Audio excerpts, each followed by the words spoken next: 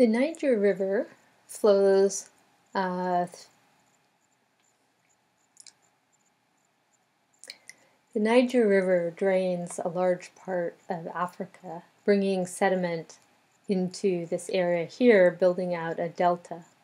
Waves from the Atlantic Ocean redistribute that sediment to make a wave influenced delta. So let's take a closer look at this delta. And one of the characteristics of deltas generally is the flat uh, delta plain. And in this zone here, you can see the multiple river channels joining and branching in an anastomosing pattern that uh, makes up the delta plain. And the sediment uh, from that delta is accumulated in a very large area here. It's a, it's a huge delta. So we can zoom in and, and to see some of the wave influences. You can see it a little bit in the roundedness of the coastline compared to river-dominated deltas, and you can also see it in the details of the channel. So, for example, this channel is coming here, and it gets diverted to the northwest um, by this spit of sand.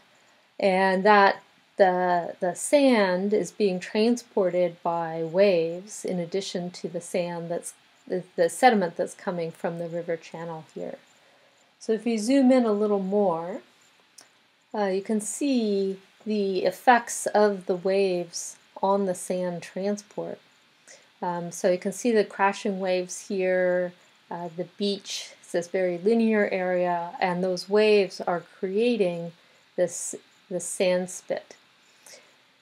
And these cloudy areas offshore are areas with significant suspended sediment from those breaking waves, and it may also be uh, a little bit shallower. So waves break when they start interacting with the bottom, and the waves are breaking more here, which suggests that there's an offshore bar in this area.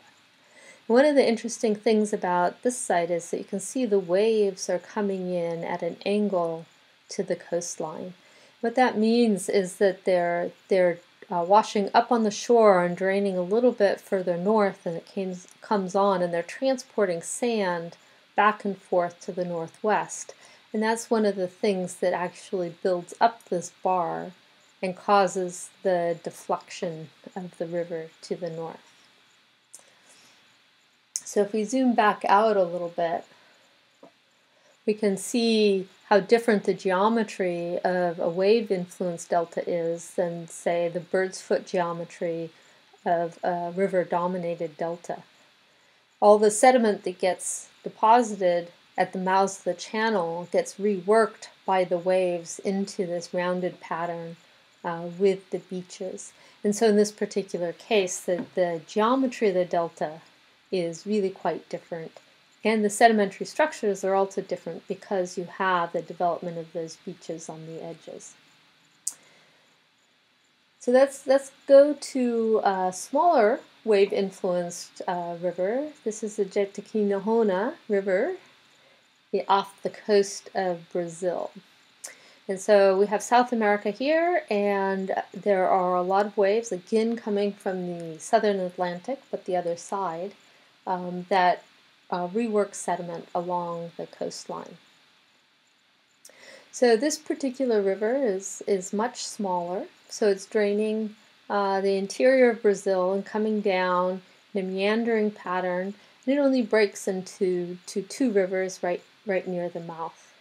There's a very distinct um, uh, change in the landscape between this area here, which is um, has a, uh, a river, a densely channeled pattern and these very linear features here which represent old beach ridges. You can see that the delta has built out into the uh, South Atlantic in this triangle form. But let's zoom in uh, to some of those beach rivers, or ri beach ridges, and uh, take a look at them. So again, you can see the waves are crashing here and um, there'll be a berm along this area and there's enough water here to support quite a bit of vegetation. then each one of these lines represents an old beach ridge that, that represents the berm uh, from, from a former beach. Uh, some areas it's lower and have ponded, and there's a there's a channel um, that's sort of draining this area, and so this will be a lake area, and it could either be fresh or, or salty water, depending on how much water is flowing in from the land versus seeping through the sand uh, from the ocean. But again, this is a, a smaller delta, uh, but the wave influence is uh, very distinctive in creating this, this linear shoreline with these beach ridges. And that, again, is very distinctive and different from the river dominated uh, deltas that have that bird's foot pattern. Thanks for watching.